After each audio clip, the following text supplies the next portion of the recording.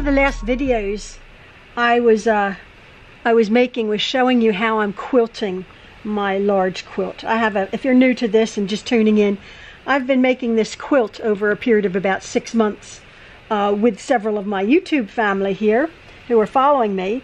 And each unit, each block, each step of the way, each sashing, from the very beginning to uh, this part here, I have a playlist, Jean's Block Party 2021 my playlist where every single block I am showing you exactly how to make step by step by step. This is a beginner's quilt and I have been I've been sent some photographs of people who have showed who have made this quilt um, up until the piecing top part. I am now uh, on my Facebook page. It's been wonderful, absolutely wonderful. What great way to use up scraps. Um, I'll put a picture of my quilt um, it, here uh, at the end of this little video. But I wanted to show you, um, I wanted to share with you how I'm actually quilting.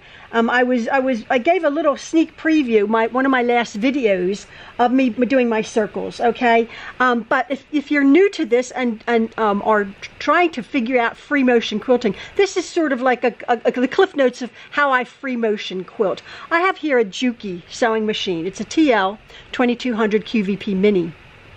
This is a straight stitch mechanical machine. It's no computerized. It's just a, a metal heavy duty machine. Oh, before you ask, the flowers I have on it are called rub-on tattoos, rub-on decals. They're called floral tattoos and they are from urbanelementz.com. Everybody says, where did you get the flowers? Some of them are rubbing off a little bit, but that's okay. I do have a LED strip lighting under here. Absolute game changer. Let me show you. Let me show you. That is without. That is just the sewing machine light. Okay? It's okay. That is with my sewing machine light. This is a game changer, about $12 or so, 10 or $12 at a, at a um, any hardware store or online. I, I absolutely, heartily, heartily recommend this LED light strip here. It just attaches to the back onto the onto the um, to the power cord over here. Um, so this is my machine that I'm using, uh, any basic machine. This is a basic machine. I have set my stitch length to zero, okay? I've set, set my stitch length to zero. Obviously, every single machine is different. Um, whether you have a computerized machine, you have to check your manual um, for the for the settings for your own specific machine. This is for my Juki here. I have lowered the feed dogs, okay? The feed dogs are the little teeth that pull your fabric along. Right there. Are little teeth right there that pull your fabric along. This machine has the ability to just click over, my feed dogs drop. That means my, there's nothing there. There's no, there's no grabbing there on my needle plate there. The teeth are down underneath. That means my needle is just going up and down and I'm doing the actual moving of my fabric as opposed to the machine moving my fabric in a straight line.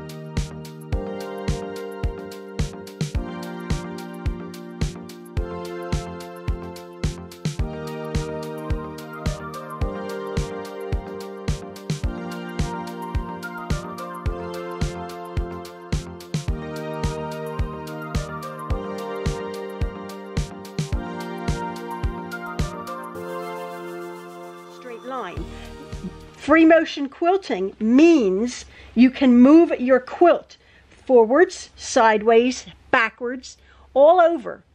You're doing this and the needle's just going up and down. So i have many videos on free motion quilting but this is just a little this is just a little um, uh, refresher if you if you're new to this and want to figure out free motion quilting.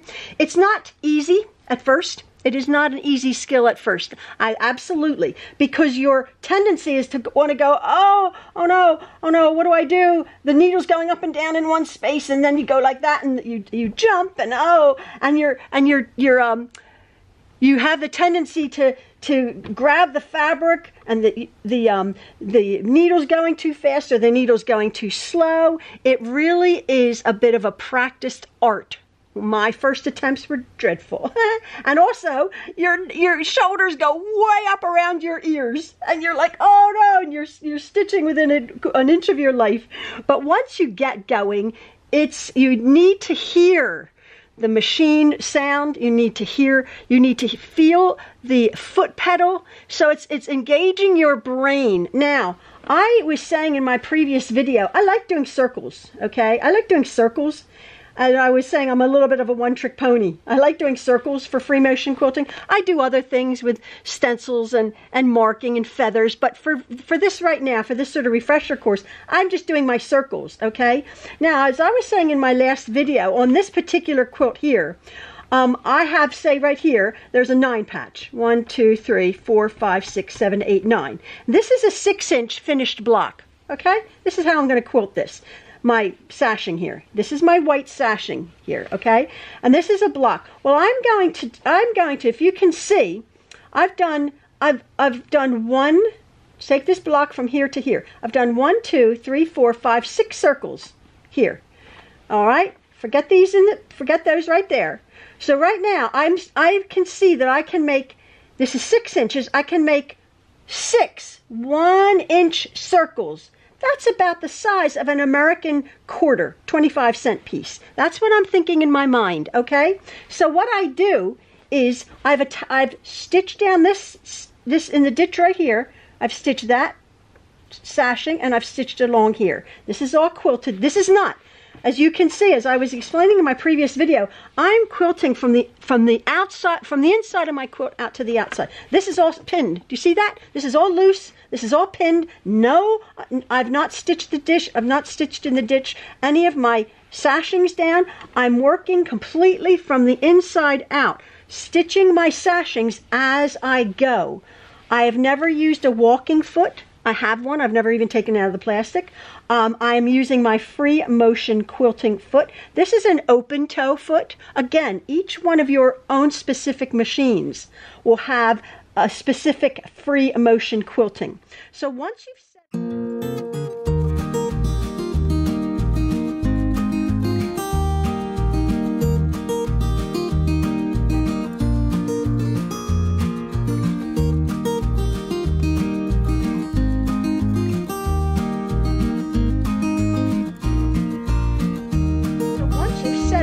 your machine with your stitch length, your feed dogs down, and then your tension properly. Your your fab your thread has to be tensioned properly through the tension wheel, whatever your machine setting is, then you're ready to go.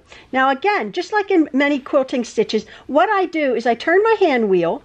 I'm going down right here for me for my circles, which I'm going to do two, four, six. I'm putting my needle down right in the center of my sashing there, bringing my bringing my bobbin thread up. Okay, uh, the, the mecha mechanism is you it loops the bobbin thread. There's my thread. There's my bobbin thread and there's my top thread. That means that I will not, on the back of my quilt, get a nasty little um, nest of, of seams, of, of thread, that little bird's nest. Okay, my backing is absolutely just like just nice and um, stitched beautifully. There's no um, threads to be cut except when I finish, which I will show you. So there's my top and my bobbin thread up, okay? I'm leaving it down, put my needle down, and then I'll put my presser foot down, okay? Now, as you can see, I don't roll anything. I just sort of scrunch it. I'm getting towards the this end of my quilt, the sides of my quilts, I my quilt here is 88 inches long, uh, 88 inches wide, 88 inches square. Okay, so I had to from this point here, my needle to here, I had to get 44 inches of quilt in here. I did it.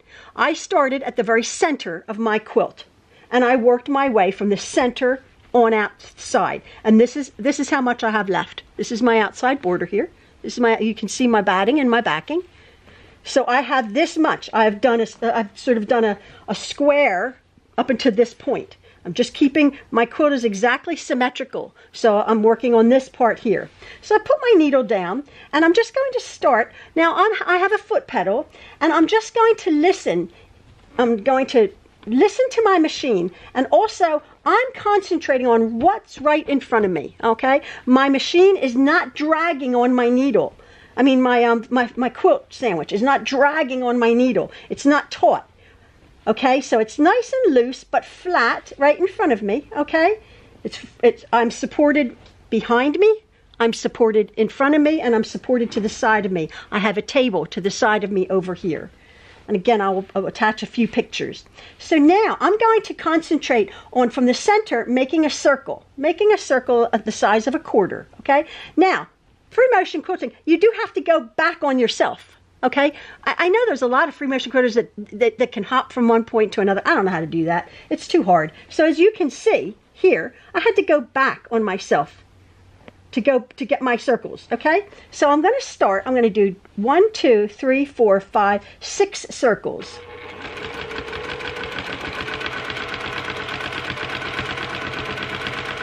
Now I've done one, and I'm going to come back to the middle the bottom middle of my first circle. Because when you're doing circles I'm, I'm, the I'm the queen of circles right? You have to make sure that your circle is completed.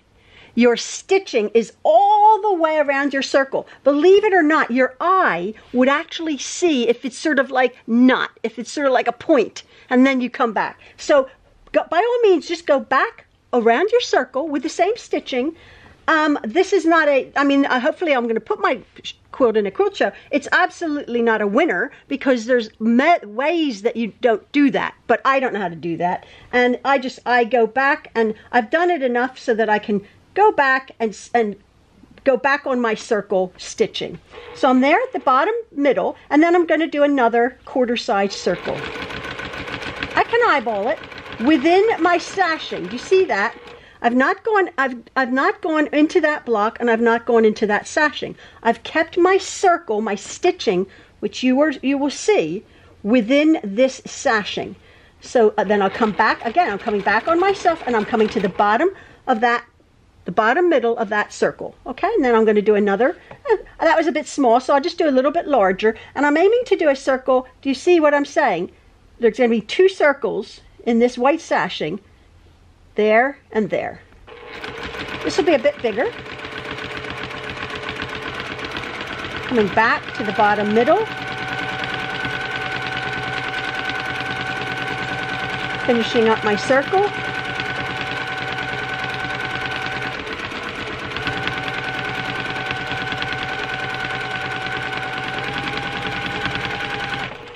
Now, this quilt has, as I was saying, one inch sashing, okay? One inch sashing here. So now, I, I right here, to, to, to coincide with this, with the um, horizontal sashing over here, I'm just going to do a circle there. And then as you can see here, this block is different. This is a four patch. So the way it's there, I'm going to be doing one, two, three circles in this in the space of this four patch. So I'm going to do one here in the sashing.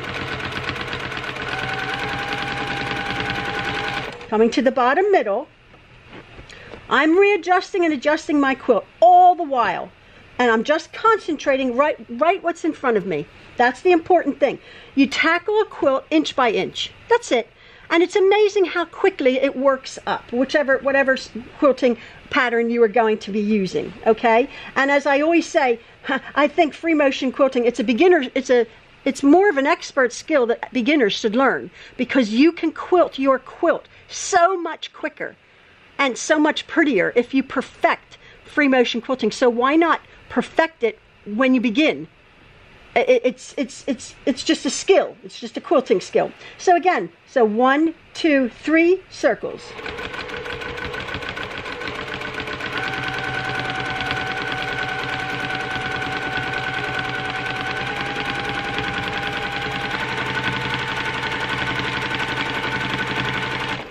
Okay, and then another one, two, three circles, and I will continue.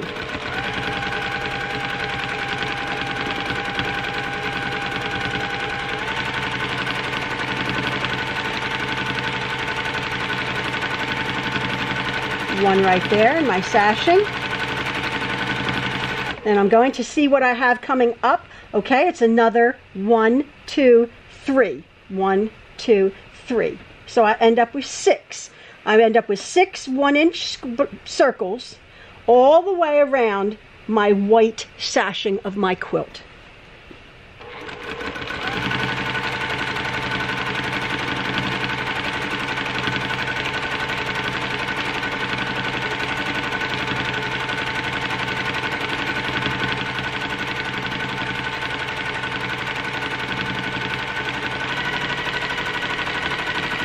Whoops. Now I went a bit, a bit into the sashing, that gray and white. That's okay. It's fine. I'm going to come back there. And what I'm doing is I'm listening to my machine.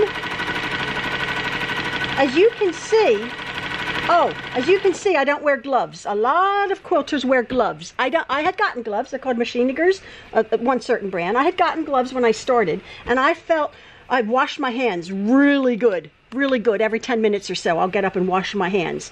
Um, the gloves got really crummy. I don't know. The, the fingertips got really dirty, eh, brown. I'm like, oh my goodness um, working with my quilt, but I didn't like that at all. And I quite like feeling my fabric. When you're free motion quilting, you need a slippery bed. There's a lot of, there's a called a Supreme slider. I've just done, I did this in the beginning with a, um, a silicone spray that you can got, buy, and then I just buffed it and buffed it. As you can see, this machine is what, three years old. I just buffed it and buffed it and buffed it and buffed it. And it's really nice and slippery. You do need a nice slippery bed. I do have, as you can see, I have a large extension table on my bed, which if you have your grandmother's or an auntie's machine, you might want to invest in some kind of table for your machine um, aftermarket because if not, your quilt's sort of going to be dragging. It's going to sort of fall off at this point and drag over here. And as you can see, my quilt is lovely and flat, right where I want to stitch it. And my hands are lovely and relaxed. They're relaxed, but they're controlling my fabric. Okay? So come to the middle. I'm listening to my machine. I'm moving my fabric. Not a lot. I'm not like, oh, oh, oh, oh. I'm not doing that. I'm just letting the needle paint. I'm just visualizing my needle as a paint brush and I'm just painting a little circle. Coming back on myself, yes. And as you can see, I'm not moving my, I'm not moving the quilt hugely. It's not a matter of like, you know, moving the quilt hugely. It's almost like driving a car. You're not steering like this. You know, you're steering, you know, you're correcting yourself a little bit at a time. You know what you know like kids get in the car and you want to you know steer but that's not how you steer. You know your car is just gentle movements. It's nice and smooth. My hands are firm but they're not like you know they're not like oh like that. They're just guiding my fabric ar around the, my my my my um artist's paintbrush needle here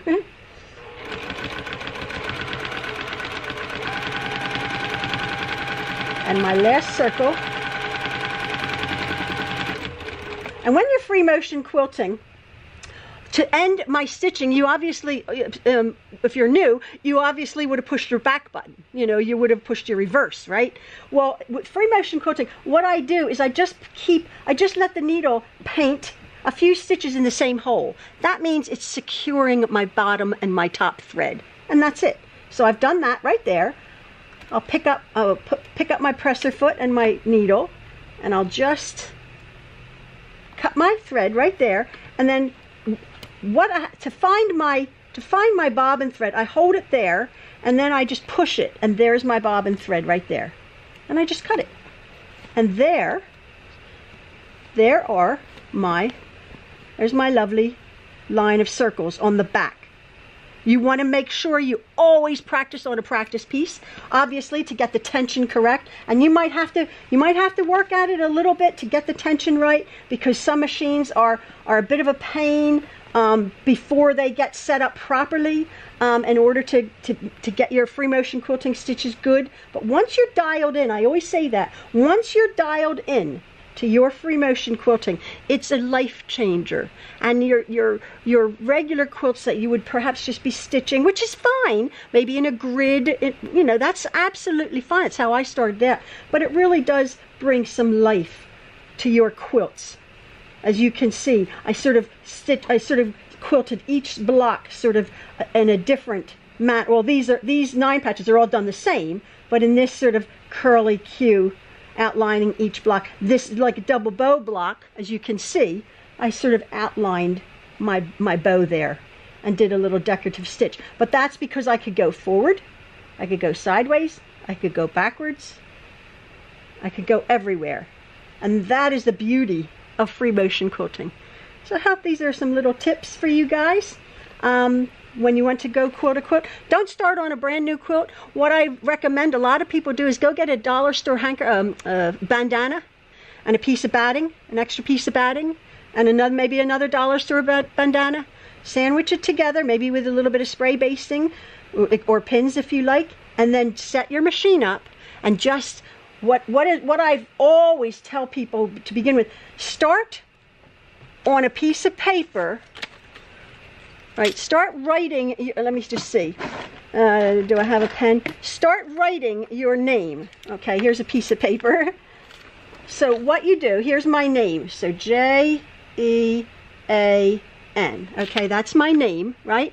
So what I will do is I will, with a pen, like imagine J E A N, okay? And then what I will do is I will, on a piece of practice, I will stitch out my name because my brain has been wired to do that cursive right uh, printing.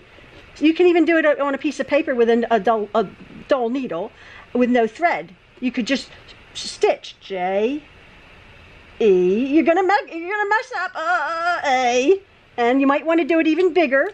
So like it would be like a, a large a large exercise. So you start there, J, and you come around, and you're gonna, you know, you know, you're gonna mess up a bit, but then you come over here and you do a loop. You might get some eyelashes because you've gone too fast on that curve. That's what happens. You you have to slow down. You have to keep your machine sound, your foot pedal, and your hands all, and your brain all in order. But once you learn how to free motion quilt, it's very freeing. Again, practice, practice, practice. I would love to hear how some of you get on. All right, hope you enjoyed this video. Love from the Trueloves, love from Jean. Bye-bye.